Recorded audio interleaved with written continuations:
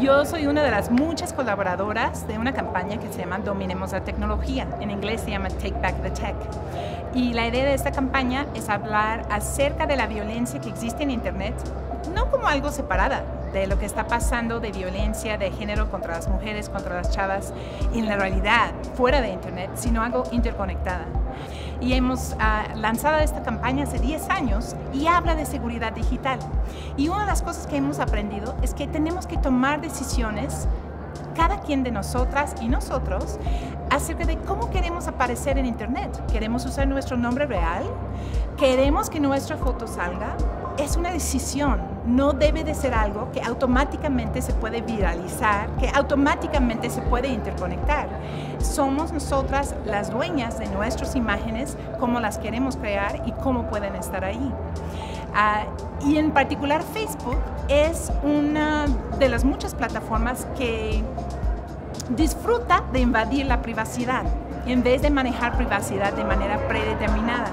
Y hemos visto cómo este puede poner en riesgo a las chavas y a las mujeres en particular.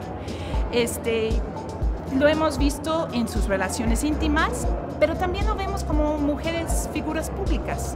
Entonces están bajo ataque muchas veces si no tienen ciertas configuraciones y controles sobre su privacidad.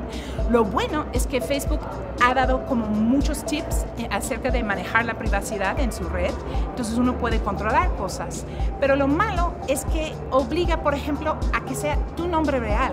Vamos a imaginar que estás empezando en Facebook, que eres una chava, y abres tu cuenta en Facebook y pones tu nombre completa real. Quizás en un futuro no quieres que todo el mundo identifique todo lo que hiciste toda tu vida en Facebook con este nombre real. Les invito, eh, como métodos de seguridad, de explorar cosas, sí, muy concretas, de poner contraseñas a nuestros equipos, de manejar con cuidado dónde usamos diferentes cosas que nos identifican.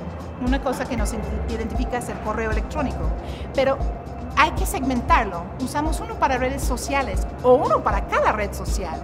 Si ya somos grandes, tenemos información bancaria, lo que fuera, otro. ¿Por qué? Tenemos que segmentarlo para que si nos hackean, si nos están este, atacando, tienen acceso a una sola parte de nuestra vida, no abren toda nuestra vida.